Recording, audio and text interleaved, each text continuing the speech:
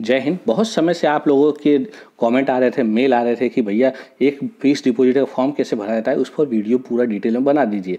मैंने सोचा, चलिए यही करते हैं, मैंने भी और आपका ये वीडियो तैयार है। चलिए आगे बढ़ूँ से पहले बता दूँ, अगर बैंक ऑफ़ इंडिया में आपका अकाउंट है या आपके परिवार का किसी अकाउंट है तो छोटे बड़े मैसेज हमें हमेशा आते रहते हैं। तो छोटे बड़े मैसेज को लेकर पेट्रोल जलाकर समय निकाल साइकिल चलाकर बैंक में जाने की ज़रूरत नहीं है, आपको सारी जानकारी यहाँ मिल जाएगी। ठीक है? सारी जानकारी मतलब पंचानवे, नब्बे, पंचानवे प्रतिशत जानकारी आपको यहीं मिल जाएगी। देखना उम्मीद है, मुझे आपको जो बोल रहा हूँ वो बिल्कुल सही है। आप जाइए, बाकी वीडियो भी मेरे देखिए। उसके अलावा आपको कोई मैसेज आता है तो मुझे व्हाट्सअप कर दीजिए, अगर आपके पास मेरा व्हाट्सअप नंबर है।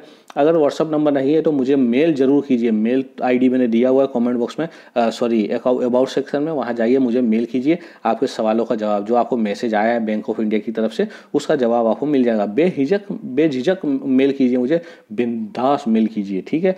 आपकी जानकारी सही तरीके से बता दी जाएगी। फ़िलहाल आप अपना एटीएम नंबर कभी भी शेयर मत करना। एटीएम नंबर कभी भी पूरा जो आता है, पूरा नंबर आधा नंबर अगर मैसेज में है तो मुझे शेयर कर सकते पूरा नंबर कभी भी किसी के साथ भी पूरी दुनिया में शेयर मत करना, ठीक है? एटीएम नंबर पिन नंबर या किसी भी तरह का नंबर सेव नहीं करना है, पूरा नंबर बाकी जो मैसेज आते हैं मैसेज में आप देखते ही होंगे, वो मैसेज अगर आप दूसरे को, किसी को पढ़ाओगे, पता ही नहीं चलेगा, क्योंकि मैसेज बैंक कोई भी बैंक है, वो इसी तरह से भेजती है, पूरा नंबर उसमें नहीं होता। तो जो मैसेज आया वो आप मुझे भेज सकते हो, आपकी जानकारी पता चल जाएगी। फ़िलहाल बात करते हैं bank of India fix deposit का फॉर्म कैसे भरें? यह फिक्स डिपोजिट का फॉर्म सबसे पहले ले लेते हैं यहाँ पे। PAN number. आपको आपके अकाउंट में, जीवन में एक बार पैन नंबर ज़रूर देना है, पैन कार्ड अगर दे दिया है आपने, उसमें रजिस्टर हो गया है तो आपको बार बार देने की ज़रूरत नहीं है। उसके बाद आता है मोबाइल नंबर और उसके बाद आता है जन्म तारीख, ये सब लिख देना है आपको, ठीक है? ये तो आपको पता ही होगा, इसके लिए आपको कहीं इधर उधर भटकने की ज़रूरत नहीं है। उसके बाद देख लेते हैं, ये अरे अरे ये तो मैंने जो स्क्रीन है उसी पर शुरू कर दिया। चलिए दोस्तों, फिर भी कोई बात नहीं, यही का यही है। एफ़ करने का फॉर्म किस तरह भरते वो मैं आपको बता रहा हूँ। देखिए, मैं आपको फॉर्म के ऊपर ले चलता हूँ। तो ये है फॉर्म ठीक है? तो ये तीनों तो मैंने आपको बता ही दिया चले नीचे आइए। इतने सारे चीज़ होती है इस फॉर्म के माध्यम से। हमें करना है सिर्फ़ फिक्स डिपॉजिट तो फिक्स डिपॉजिट के ऊपर क्लिक करिए और ये आपका फिक्स डिपॉजिट शुरू हो जाएगा। अगर आप चाहते हो रिकरिंग डिपॉजिट करवाना, तब भी यही फॉर्म भरना है। ऊपर लिख दीजिए, सबसे ऊपर यहाँ पर रिकरिंग डिपॉजिट ठीक है? लिख दीजिए। अगर आप चाहते हो कि हर महीने आपके अकाउंट में पैसा जमा होता रहे, जो आप वो एफडी करवा रहे हो, उसका ब्याज जो है हर महीने, बारह महीने के लिए करवा रहे हो तो हर महीने आपके अकाउंट में ब्याज की पैसा जमा होता रहे तो आप यहाँ पे ऊपर ले दीजिए monthly interest deposit to be deposit in my account हर महीने ब्याज चाहिए। या तो फिर लिख दीजिए नॉर्मल भाषा में, चालू भाषा में, हर महीने ब्याज चाहिए, ऐसा लिख दीजिए, ठीक है? अगर आप चाहते हो तीन महीने पे जमा होता रहे आपके अकाउंट में पैसा तो लिख दीजिए। ऊपर तीन महीने में ब्याज खाते में जमा कीजिए, ऐसा यहाँ पर लिख दीजिए ऊपर। समझ गए? चालू भाषा में लिख दीजिए बैंक अधिकारी कभी आपको फोर्स नहीं करेंगे कि भैया आप ये क्या लिखे हो। समझ में आपको आ जाना चाहिए आप क्या लिख रहे हो, और पढ़ने वाले को समझ में आ जाना चाहिए कि वो क्या पढ़ रहे हैं। ठीक है? समझ रहे ना? बड़ी आसान है। बैंक में जाना बहुत ही आसान है। आप लोग घबराइए मत, ठीक है? कस्टमर आईडी नंबर लिखिए। कस्टमर आईडी क्या होता है पूछोगे? आपका बैंक की पासबुक खोलिए। आपका अकाउंट नंबर जहाँ लिखा हुआ है, देखिए, लिखा हुआ मिल गया। उसके बिल्कुल ऊपर कस्टमर आईडी लिखा हुआ है। वो नंबर है, वो लिखिए यहाँ पे। और यहाँ पर खाता संख्या लिखिए, अकाउंट नंबर लिखिए। क्लियर है? अब नीचे आइए। नीचे यहाँ पे फ़र्स्ट एप्लीकेंट लिखिए।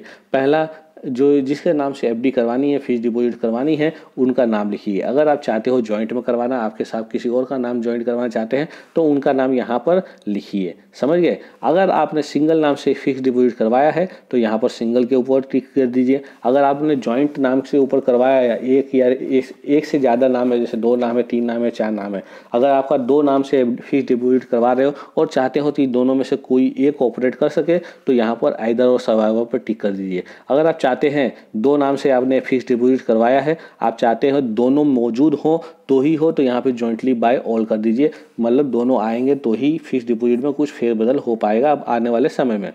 क्लियर है, अब आगे बढ़िए। आप फ़ीस डिपॉजिट करवा रहे हो, ठीक है? फ़ीस डिपॉजिट करवाने के लिए पैसा चाहिए, पैसा आपके अकाउंट में होगा। किस अकाउंट में है? वो अकाउंट नंबर यहाँ लिख दीजिए, ठीक है? मतलब इस अकाउंट में से पैसे कट कर सीधा आपके फ़ीस डिपॉजिट में चला जाएगा।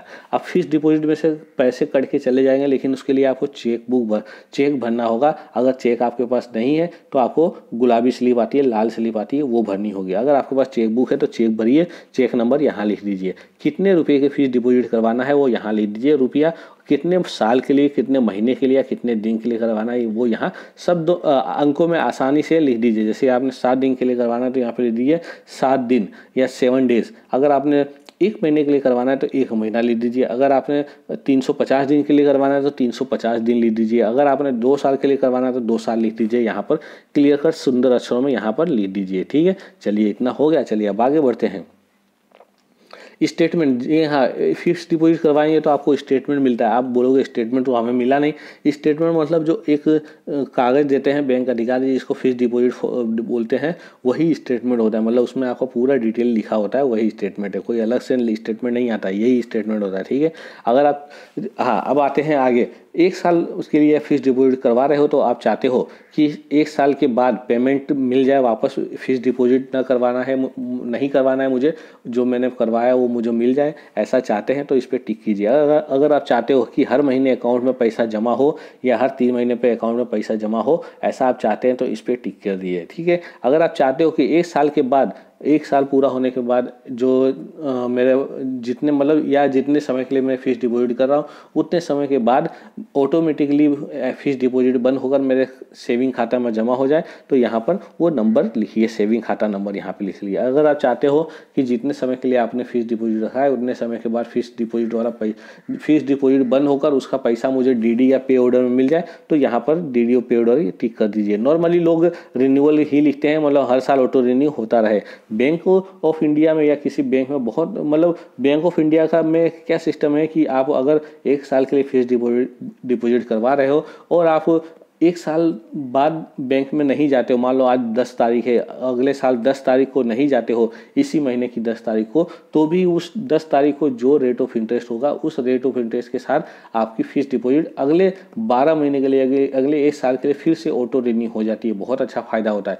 चाहे तो इसीलिए मैं कहता हूँ, चाहे आपका फिक्स डिपॉजिट पूरा हो रहा हो, दस तारीख को आप ग्यारह हो जाइए, बारह हो जाइए, ठीक है, लेकिन अगर आप नहीं जा पाते उस दिन तो भी कोई घबराने की ज़रूरत नहीं है, एक महीने बाद जाइए, एक साल बाद जाइए बैंक, लोग, बैंक में अधिकारी लोग बहुत ख्याल रखते हैं ताकि किसी के साथ भी समस्या हो सकती है, किसी को याद रहे, ना रहे तो वो ऑटो रिन्यू करते रहते हैं। फिर भी आप चाहते हो कि ऐसा ना हो तो यहाँ पर टिक कर दीजिए और बता दीजिए, ठीक है? नहीं करोगे तब भी चलेगा। बैंक अधिकारी बिल्कुल साड़े होते हैं। साड़े होते हैं, समझ गए ना? समझदार होते हैं। अच्छा यहाँ पे कीजिए कीजिए। अगर आप एक साल बाद चाहते हैं कि जो आपका प्रिंसिपल अमाउंट है, वो प्लस जो ब्याज है, दोनों के साथ रिन्यू हो जाए तो यहाँ पे टिक कीजिए। नॉर्मली यही होता है। अगर आप नहीं टिक करेंगे, तभी बैंक अधिकारी यही वाला ऑप्शन क्लिक कर देते हैं। अगर आप चाहते हो कि ब्याज जो है मेरे अकाउंट में जमा हो जाए, और मैं एक लाख रुपए की से एफडी रख रहा हूँ अगले साल, फिर से जो ब्याज मिलना है, वो अगले साल मेरे अकाउंट में जमा हो जाए, और सिर्फ़ और सिर्फ़ प्रिंसिपल अमाउंट मतलब जो मूलधन है, यानी कि एक लाख रुपए से रिन्यू हो जाए तो इस पर टिक कीजिए। अगर आप चाहते हो डीडी या पे ऑर्डर मिल जाए एक साल बाद तो यहाँ पे टिक कीजिए। अगर आप चाहते हो जमा हो जाए मेरे खाते में तो यहाँ पर क्लिक कीजिए। उसके बाद देखिए एग्रीमेंट लिखा है। एग्रीमेंट पढ़ लेना है कि आप एफडी करवा रहे हो, वगैरह वगैरह सब लिखा है। और अगर आप आरडी करवा रहे हो तो यहाँ पर टिक कीजिए, नहीं तो छोड़ दीजिए। कोई बात नहीं। उसके बाद नीचे आइए, ये सब शर्तें हैं। ये देखिए दोस्तों, ये सब शर्तें हैं। इसको पढ़ लीजिए। नहीं पढ़ोगे तब भी चलेगा। और यहाँ पर सिग्नेचर अपने कर लीजिए। अगर सिंगल नाम से है तो एक नाम का, यहाँ पे जो फ़र्स्ट नाम है उनका सिग्नेचर यहाँ पे अगर जॉइंट होल्डर है जॉइंट नाम में एफडी करवा रहे तो दूसरे वाले का सही यहाँ पे पहले वाले का नाम का सही यहाँ पे। क्लियर है? सिग्नेचर नॉमिनेशन करवाना बहुत ही ज़रूरी है, जो कि ये मैं आपको आधा मिनट के लिए रोक रहा हूँ। अगर आपका पैसा कहीं भी जमा है, चाहे बैंक में, पोस्ट ऑफ़िस में एलआईसी में आई में इधर उधर कहीं भी पैसा जमा है तो ज़रूर चेक कीजिए कि आपने नॉमिनेशन करवाया है कि नहीं।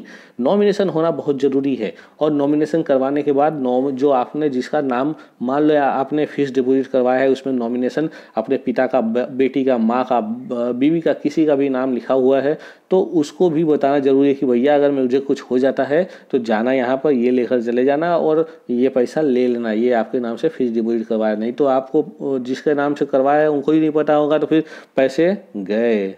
समझ गए? तो ये सब ध्यान रखनी है, घबराना नहीं है, वीडियो मेरा पूरा देखते रहना है। अब नॉमिनी करवाना है तो यहाँ पे अपना पूरा नाम लिखिए, और यहाँ पर नॉमिनी का पूरा नाम और पता यहाँ पे ज़रूर लिखिए, नाम और पता लिख दीजिए और नॉमिनी किसको करवा रहे पति को करवा रहे पत्नी को करवा रहे बीवी को करवा रहे हस्बैंड को करवा रहे आप बोलोगे सब वही बोल रहे हैं भैया मैं मतलब आपको समझा रहा हूँ कि जिसको भी आप करवा रहे हो, जिसका नाम यहाँ पे लिख रहे हो, वो आपका क्या लगता है? मान लो आपका बेटा लगता है तो यहाँ पे बेटा लिखिए।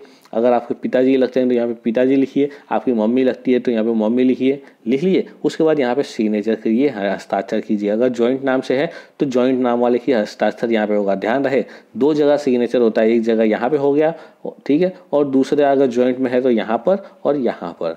ये कंप्लीट हुआ यहाँ तक। यहाँ उसके बाद यहाँ पे जिस शहर में आप रह रहे हैं शहर का नाम लिखिए और तारीख लिखिए। जी हाँ अगर कोई अंगूठा छाप जो है, अंगूठे वाला है मतलब जिसको पढ़ना लिखना नहीं आता, वो फिक्स डिपोजिट करवाना चाहता है तो भी सेम फॉर्म भरा जाएगा। लेकिन इस केस में उसके सामने दो विटनेस होंगे, दो गवाह होंगे, उनके सिग्नेचर लिए जाएँगे, उनकी डिटेल ली जाएगी, तब जाकर फिक्स डिपोजिट हो पाएगा। उम्मीद है दोस्तों, वीडियो पसंद आया होगा। पसंद आया है तो चैनल देखने के लिए बहुत बहुत शुक्रिया।